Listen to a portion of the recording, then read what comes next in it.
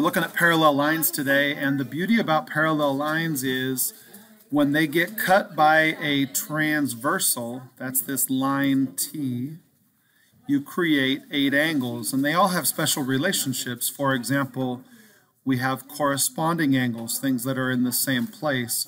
We have alternate interior angles. Those things are equal as well. Those are on opposite sides of the transversal, and they're on interior of the figure.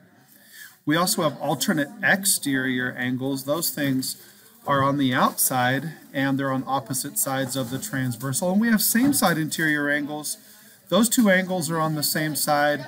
These are another pair of same side interior angles right there, and those are supplementary.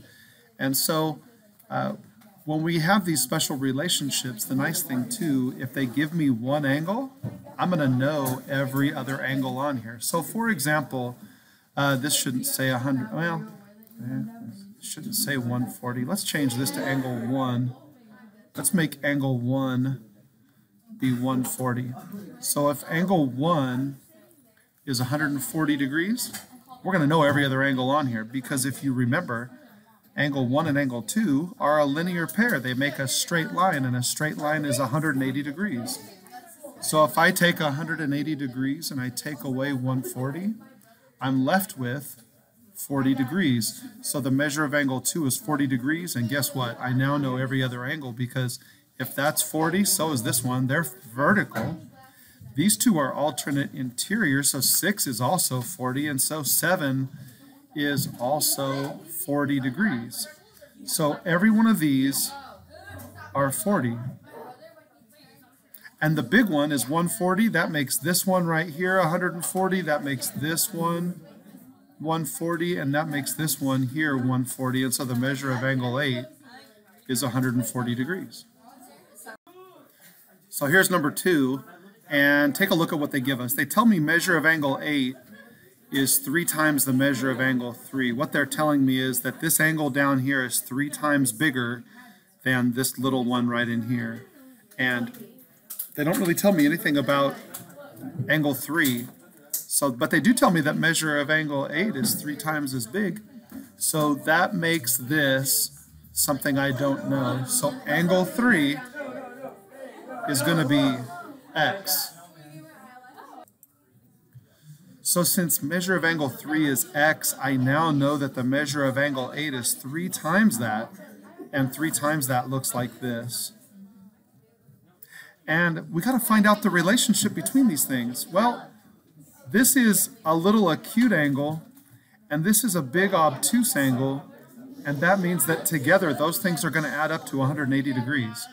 So my measure of x and my measure of 3x together are going to make 180 degrees. Well, that if I combine my terms, I just get 4x equals 180, and then I'll divide um, both sides by 4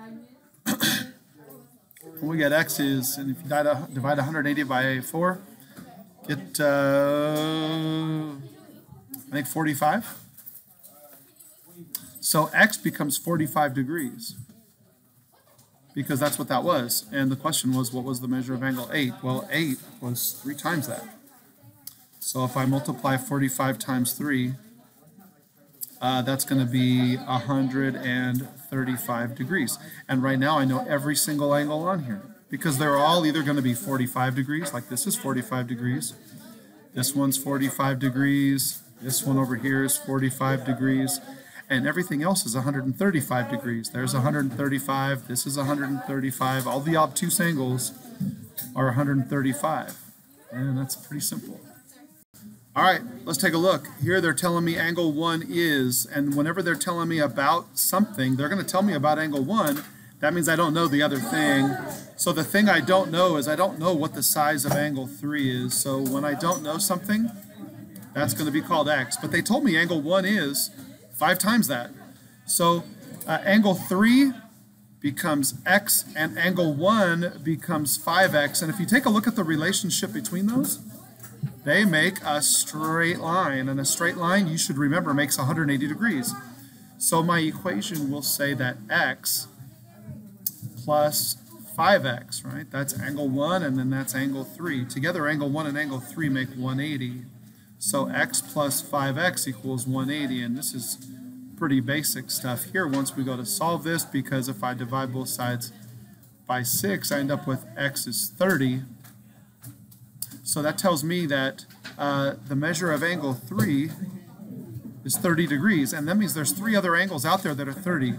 Uh, 7 is 30, 6 is 30, and so is 2. 2 and 3 are vertical to each other. And angle 1 is 5x, so 5 times that, that's 150 degrees. So the other angles on here, that's 150, angle 1 is 150, angle 4 is 150, angle 5 is 150, and angle 8 is 150 degrees. Those things are all 150.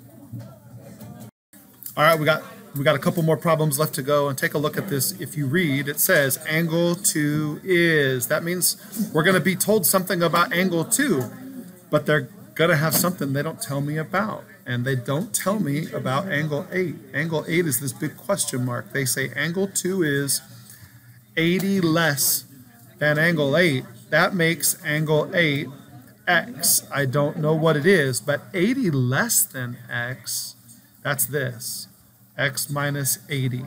So it says start with x, but then subtract 80. So angle 2 is x take away 80, and angle 8 is x. I'm going to go ahead and label this one. This right here is x minus 80. And we had to ask the question, are these things congruent? Or are they supplementary and add up to 180 degrees? You can see this is a big old obtuse angle. That's a little acute angle. They are not the same. So that means they must add up to 180. So this angle plus this angle will make 180 degrees. So let's do it this way. We'll go x minus 80, that's angle 2, plus the other angle 8. Those two added up are 180 degrees. And if I combine my like terms, x and x, that's 2x minus 80 equals 180. And last step, uh, we got two to go. Let's add 80 to both sides. That's going to give me 2x equals 260 degrees. And I'm going to divide by 2. x is 130. And so that means that this angle down here is 130 degrees, and we already know three other angles because that's 130 degrees, that's 130 degrees, and this right here is 130 degrees. And 130 take away 80 is 50.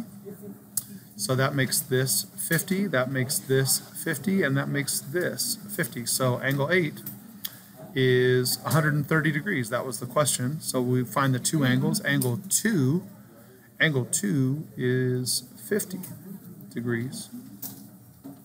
And the measure of angle 8 was 130 degrees. Let's go to these two. Uh, this one, just to find the value of x, if that's all we're looking for, we just need to know how these two angles are related. They make a linear pair. They're directly on the same straight line. So there's the line that they make. And in a straight line all together, that adds up to 180 degrees.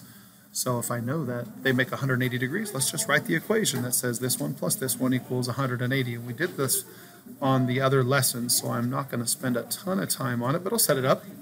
That's the first one. And here is the second one, 13x minus 5. That altogether uh, is 180 degrees. Now, if I combine my terms, uh, 7x and 13x is 20x and plus 5, and minus 5 is nothing. So that's plus 0 uh, equals uh, 180. And if I divide by 20, just a one-step equation, x is 9. And that's it. So that was all we were asked to do. Let's take a look at the last problem, find the value of x. Again, we need to know the relationship between this angle, and if you take a look at those two, they are in the exact same place. Uh, if I were to circle those four angles right there and those four angles right there, these right here are both in the same exact spot. They're in a similar location. They're called corresponding angles, and they are congruent. So uh, this right here, uh, 12x plus 13, is the exact same number of degrees as 14x minus 5. So when we solve these, we want to move the smallest x first, which is that one right there. So I'm going to go ahead and take away 12x on both sides. So we'll take away 12x there. And we end up with 13 equals, and then that right there, 14x take away 12x, that's just 2x minus 5. So then we'll finish the problem up. I'll just add 5 and it's a two-step equation right now, 7th grade math here. 18 equals 2x and x is 9. So if we were simply being asked to find x, x is worth 9. If I somehow wanted to find out how many degrees this was, 12 times 9 is 108 plus 13 is 121 degrees. So that right there is 121 degrees, which means this right there is 121 degrees. So is this one, and so is this one, and this one right here. Uh, this angle here will add up with 121 to be 180, and that means that if I subtract 180 and 121, these right here are all 59 degrees. And there you go.